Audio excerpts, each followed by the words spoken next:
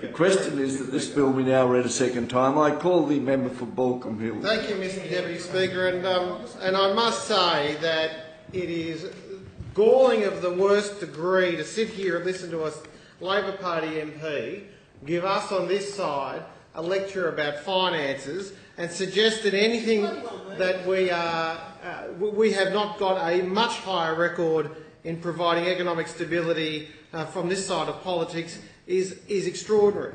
I just need to, before I make my preliminary remarks, Mr Deputy Speaker, remind the previous speaker, remind the previous speaker that his side of politics, his side of politics gave us one million unemployed. One million unemployed under his side of politics. So much for the party representing the working man. There were no working men under their administration in the 1990s. But the one million unemployed weren't good enough. They had to really whack us harder with 17% interest rates. If it wasn't 1 million unemployed giving us a hard time to manage um, the, uh, the nation's economic growth, it was the 17% interest rates. And what did that give us?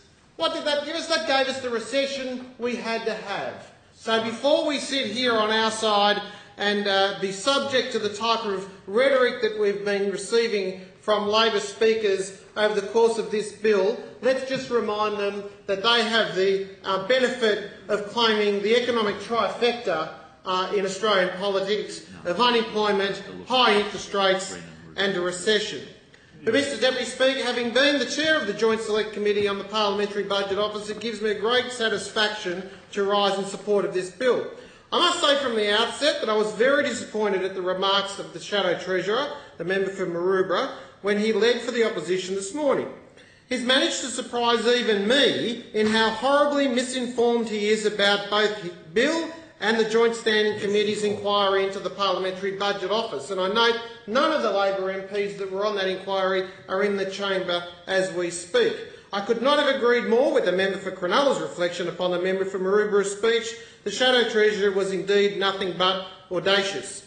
From his remarks this morning, the member for Maroubra, the so-called Shadow Treasurer, seems to be an avid enthusiast of conspiracy theories. I'm waiting for ET to come down. But let's just remember, at the moment in Australia, we actually have uh, 25% of the population believe in UFOs.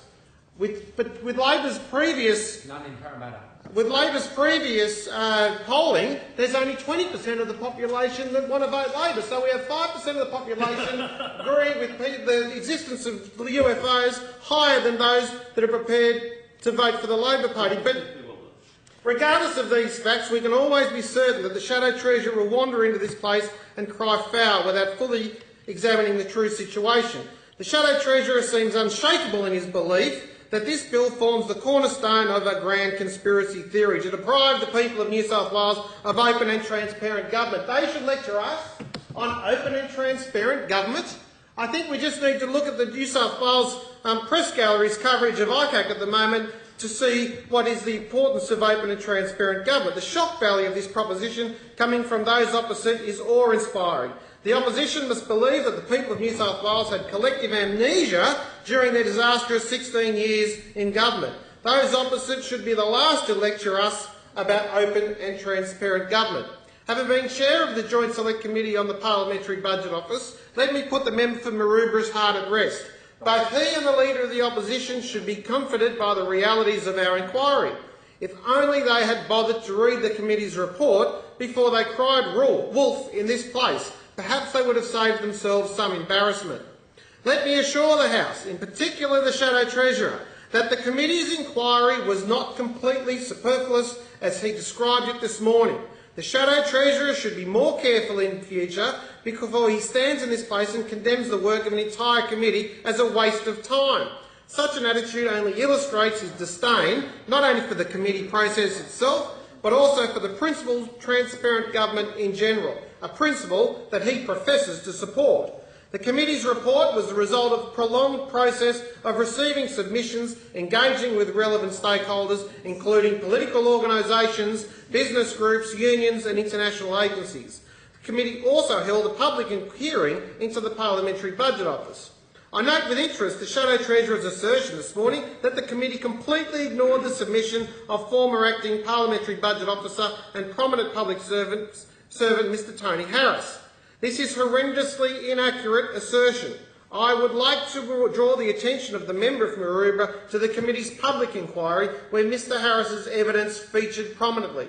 The committee worked well and I was proud to be involved in his deliberations. From my perspective, its inquiry and deliberations were far from superfluous, waste or a waste of time.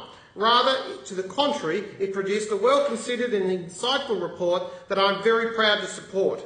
I do not, however, I do note, however, that the behaviour of some members of the committee towards the committee staff was beyond embarrassing.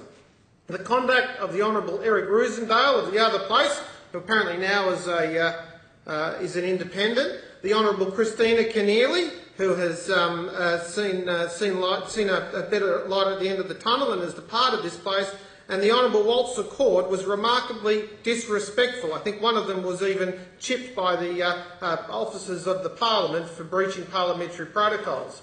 This was compounded only by the fact that these three individuals once held some sort of high office in this state. Members of this, this, side of the House have no doubt noticed the inherent contradiction in the position of those opposite. They pop up one by one to say that this bill is some death nail to transparent government in this state. At the same time, they claim the committee's inquiry was a waste of time. Talk about hypocrisy. What a flimsy commitment to transparent government. Would they rather that the committee never had an inquiry I know this is how they used to run this state, ramming important legislation through this House without consultation. But one would have thought that they would have learnt something from the 26th of March 2011.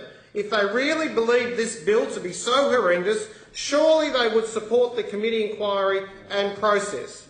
One of the most important results of the committee's inquiry was that there should be a parliamentary budget office. Every single submission supported the existence of a parliamentary budget office. Not one submission supported its abolition.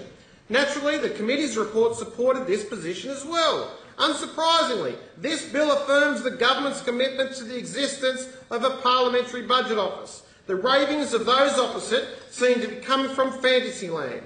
Again, they did not do their research because if they were, they would know that the existence of the Parliamentary Budget Office is not in danger. The opposition's concerns are exaggerated and poorly informed. The committee was keen to see common ground from all stakeholders about how the promises made by political parties could be best costed, tested by a reliable and independent authority prior to a state election. This bill is that common ground. The protestations of those opposite merely represented a desire for taxpayer-funded largesse. The committee could find no evidence in support of an expensive style of parliamentary budget office that is apparently the deepest desire of the Labor Party.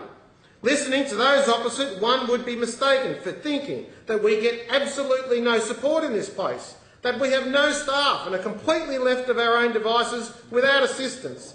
This is simply not the case. Already, individual members of parliament have access to their own research staff, the Parliamentary Research Service, their own party machines. Why should the government provide any special advice on how the state budgetary process works outside the existing options already available? If members of, of the opposition don't understand the budgetary process, Mr Acting Speaker, they should go to TAFE. A permanent parliamentary budget office is simply unnecessary throughout an entire parliamentary term. Mr Acting Speaker, I've got better things to do with $10 million. This brings me to the most astounding of the member for Maroubra's assertions this morning, that we somehow need the Parliamentary Budget Office to educate members about the budget process. Surely the public expects members of Parliament to have some basic understanding about economics and budgets before they get here. Being a representative of the people is not a learn-on-the-job vocation. If you have no idea about what's going on, don't stand for Parliament. If you are so selfish that you stand knowing that you are not adequately qualified, then the onus is upon you to fix your deficiencies yourself. Inept members of Parliament should not depend on the taxpayer to teach them the basics of modern politics. This is a ridiculous position and a nanny state position that the opposition is obviously supportive of. I thank the government for accepting the committee's report and codifying our recommendations. This amendment will ensure that Parliament will have access to an efficient and effective PBO and is capable of fulfilling its, four, its core um, functions. I commend the bill to the House. Mr Speaker. Question is